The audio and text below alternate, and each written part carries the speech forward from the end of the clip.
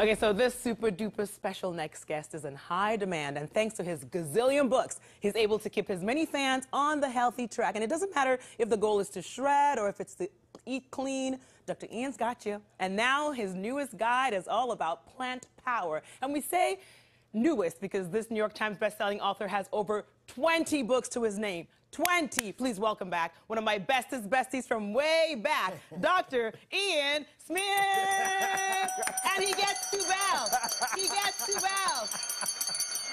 Oh man, it's been a while. I'm in studio, I know. live and in person. I know, live and in person. And the last time you were on Zoom, Dr. Ian, we were talking about your latest murder mystery book, Dr. yes, Ian. yes. Wolf Point. So all of a sudden, plant power. they're like plant power. I was like, how? Who? What in the voodoo are you doing? well, the pandemic has had a lot of bad things, but also good for me has been able to concentrate and work and exclusion. So I wrote several books. Plant Power is one of them. Wait, Um, several? Several. During the been- pandemic? It's been a couple years, yeah. Writers write. That's what Stephen King says. Listen, I want to tell you something.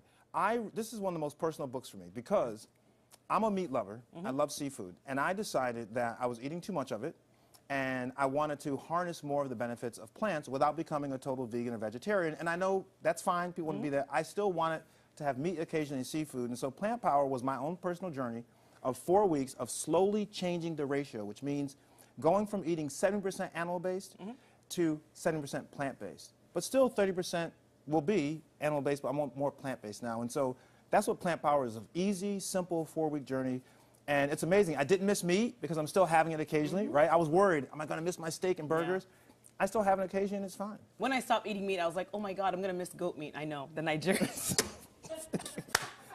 I was like, I'm gonna miss goat. How am I gonna survive without goat meat? But I'm fine because I still do fish and eggs. That's right. Okay, so what are some of the benefits? Because you're the doctor here, and we know Yes. people tell you oh, veggies are good for you. So what are some of the benefits of g- going on a plant-forward Yes, plant diet? forward, exactly. Well, you can lower your blood pressure, your cholesterol levels. You can lower your risk for heart disease, certain types of cancer, stroke.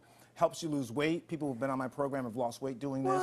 Yeah, it also can help you increase your energy and your mood. So there's so many, there are other things. There's so many great things about being more plant forward. And by the way, you don't have to be a full vegan or vegetarian to get those benefits. You can do a program like this that will still give you those benefits and allow you to have those fun foods. All right, Dr. Ian, I'm glad you said that because you said you don't have to be a full vegan or vegetarian. So there's veganism, there's vegetarians, there's uh, flexitarian, there's Flexitarian. plant forward. So we know vegans no animal No products at all. whatsoever. Vegetarians are like, A little dairy sometimes. You know, there, there, there's some gray area for vegetarians.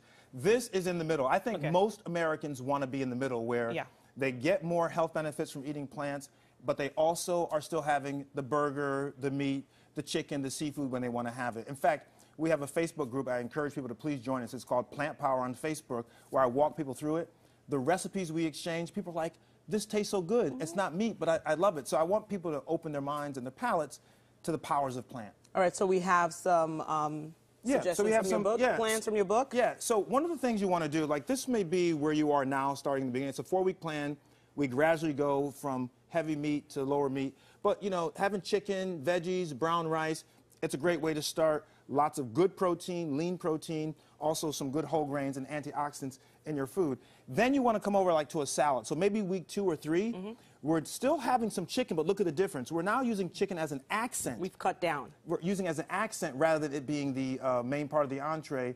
And then we can transition to something like this. We have a small salad. We have a nice creamy uh, tomato soup, which is delicious. But even in week four, like I said, 30% of your meals are still going to be animal-based. And so you're still going to have the chicken, the seafood, but you're not going to eat it as much, and you're not going to miss it, and you're going to lose weight and feel better. All right, and Dr. Ian prepared all of this. He woke up early this morning to prepare all of this for us. By the way, Dr. Ian, so what, what's your take on uh, um, the meat substitutes? Yes, be very careful. Make sure they are low in calories. Make sure they don't have too much uh, sh- uh, salt. They add a lot of preservatives to them. Uh, and so, you, you know, listen, meat is meat, and you can't imitate meat. So if you're going to make the decision that you're going to eat less meat, you got to just do it.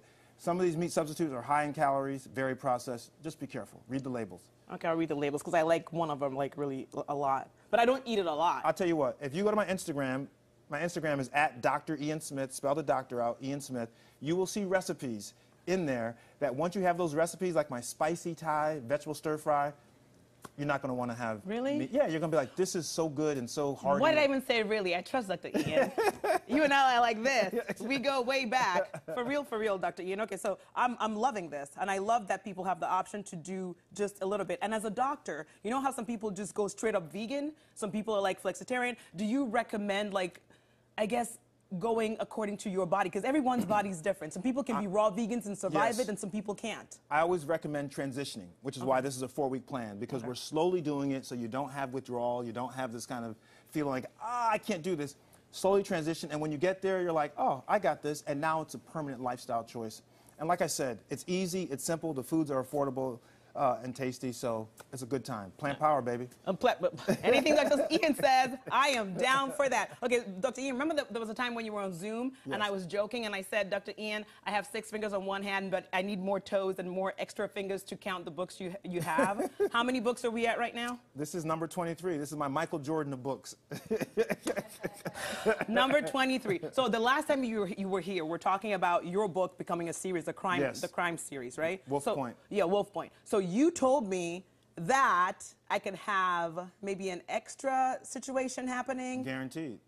Okay. Guaranteed. Even if I don't speak, I'm fine. You'll be in So how far are we in that process? We just handed in the second draft of our pilot script, and fingers crossed, they say good, and then it's go time. Hollywood, here we come. and, and I, I said we, Dr. Ian. No, I'm okay with that. We are a team. We are a team. How far back do we go?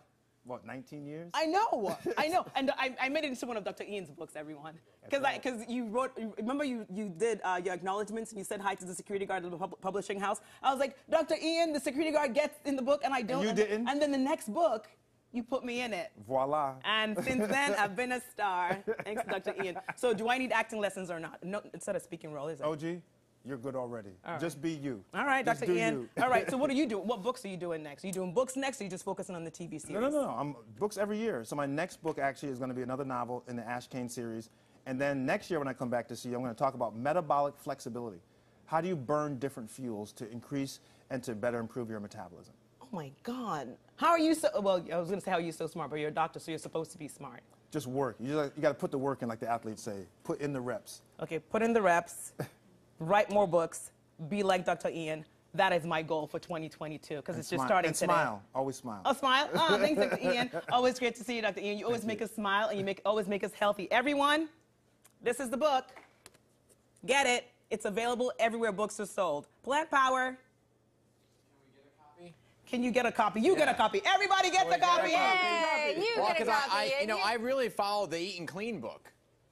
It's Right? good, right? That- it was this will take you to the next level. It was okay. it was Yeah, all It was all right.